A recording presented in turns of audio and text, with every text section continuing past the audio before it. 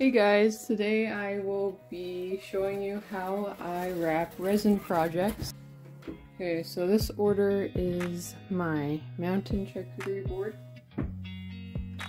uh, my small mountain charcuterie board, and this nice wave one. Alright, so starting with the big mountain one, I uh, flip it over, make sure that the front is flat, and I first wrap it in this glassine paper. You can also use parchment paper, but I tend to find that this glassine is a bit stronger and it just works better with my products to make sure that they are safe and secured.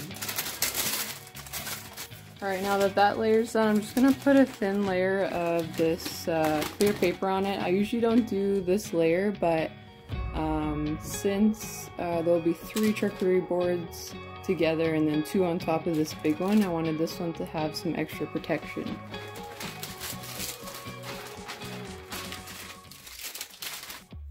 Alright, now that that layer's done, I'm going to add some of this foam roll onto here just to give that extra protection again since it's at the bottom.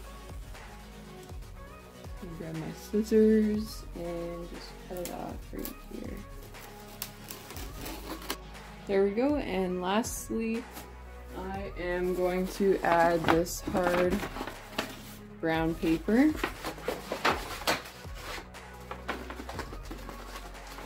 Going to add some nice ribbon to this.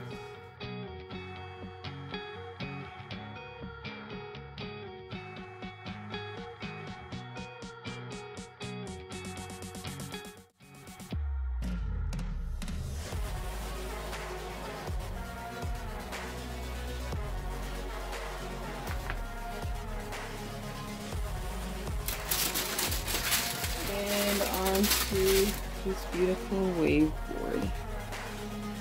So these are 100% sealed. Um, they are very durable and they will last for generations.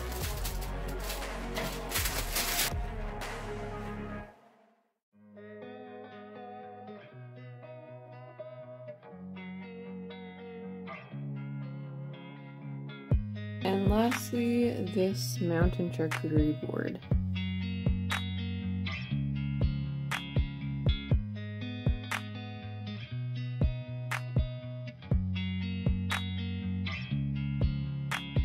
So now with these care packages, um, I'm just going to stick them in each one. So um, I'm just going to give a few free stickers. I'm just going to do that for every order. And then a thank you card.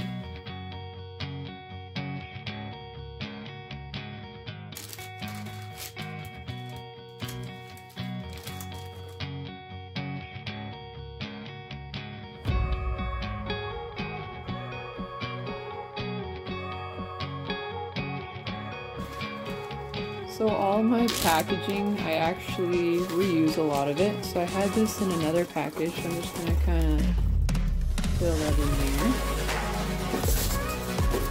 Help the cracks and stuff get a little full here. Add some fragile stickers. You can just get these on Amazon and I like since this is such a big, heavy, fragile box, I'm going to put probably one on each side.